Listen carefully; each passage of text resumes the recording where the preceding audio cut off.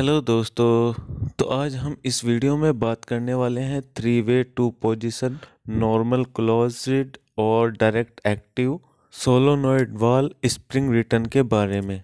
दोस्तों, इससे पहले हमने एक वीडियो बनाई थी टू वे और टू पोजीशन वाल के बारे में। तो उस वीडियो का लिंक आपको नीचे डिस्क्रिप्शन में मिल जाएगा, आप देख सकते हैं। दोस्तों, इसके अलावा एक वाल और होती है जो three way two position normally open होती है।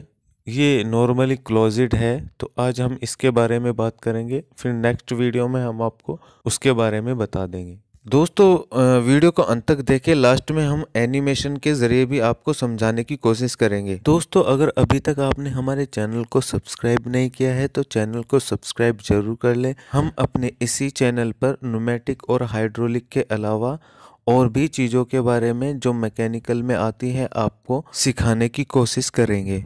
तो चलिए वीडियो शुरू करते हैं।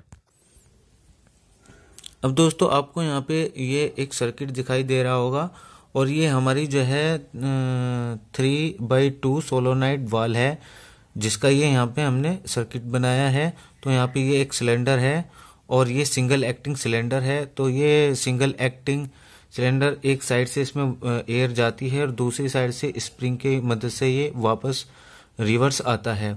तो यहाँ पे हमने इस वाल को लगाया है तो इसके बारे में हम आपको अब थोड़ा समझाएँगे तो आप वीडियो को पूरा अंत तक देखें। लास्ट में हम आपको एनिमेशन के ज़रिए भी बता देंगे। तो यहाँ पे आप देखें इधर ये स्प्रिंग है और ये यहाँ पे जो है एक प्लग है जिसके अंदर सप्लाई जाती है जो आ, सप्लाई आने पे स्पुल इधर फॉरवर्ड हो जाता है। अब तो उसमें जब यहाँ पे ये जो इसकी टू पोजीशन है, एक और ये दो, यानी कि पहली ये पोजीशन है, एक ये वाली पोजीशन है, ये दो पोजीशन है। और यहाँ पे ये तीन पोर्ट है, एक और दो और तीन। ये यहाँ पे तीन पोर्ट है। तो ये जो एक नंबर है और ये जो दो नंबर है और ये तीन नंबर है, इनका क्या मतलब होता है, ये भी आपको समझना होगा। तो इसका जो यहाँ पे एक नंबर होता है जो मैं आपको बता दूँ, एक नंबर जो होता है, एक नंबर ये पी यानी कि प्रेशर लाइन होती है हमारी, ठीक है?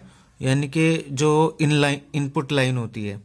तो जो हमारा यहाँ पे दो नंबर होता है, दो नंबर हमारा आउटपुट लाइन होती है। तो ये हमारी जो है आउटपुट होती है और ये हमारी इन होती है। तीसरी, अब यहाँ पे जो तीसरा पोर्ट है उसका यहाँ पे क्या काम होता है? वो रिवर्स यानी जो एयर हमारी रिवर्स आएगी, उसको बाहर निकालना होता है। अब वो वो आप यहाँ पे समझे कि कैसे ये हमारा जो है वाल काम करेगा। तो सबसे इजी आपको समझने में यहाँ पे आसानी हो, मैं आपको बता देता हूँ। यहाँ पे जब सप्लाई आएगी इधर, जो ये यहाँ पे प्लग है तो हमारी ये वाली पोजीशन जो है एक्टिव हो जाती है। तो हमारी यहाँ से जो है एयर ऊपर को जाती है और यहाँ से जो है हमारी एयर जाने के बाद ये सिलेंडर में इसको सिलेंडर को फॉरवर्ड आगे की साइड कराती है। ठीक है? तो ये अभी फॉरवर्ड कंडीशन में मैंने इसको दिखा रखा है आपको। ठीक है? उसके बाद जब यहाँ पे आपकी सप्लाई चली जाएगी तो उसके बाद क्या होगा कि हमारी ये वाली जो दूसरे वाली पोजीशन है, ये एक्टिव हो जाएगी। तो उसमें क्या होगा? तो उसमें अब मैं आपको दिखा देता हूँ। उसमें ये तो उसमें होगा ये कि जो हमारा तीन नंबर होगा वो यहाँ पे हो जाएगा और हमारा उसके बाद एक नंबर तो यहीं पर होगा और दो नंबर हमारा जो है यहाँ पर हो जाएगा। तो हमारा ये यहाँ पे क्या होगा कि ये जो दो नंबर है, ये तीन नंबर से कनेक्ट हो जाएगा। तो ये सीधा क्या है कि हमारी जो स्प्रिंग की की मदद से ये पीछे जाएगा पिस्टन, इसका सिलेंडर का तो ये हमारी एयर निकल के रिवर्स यानी कि इस से बाहर आ जाएगी। यानी कि जब फॉरवर्ड होगा तो उस वक्त क्या होगा? उस वक्त तो पहले वाली हमारी इस वाली कंडीशन में होएगा क्या?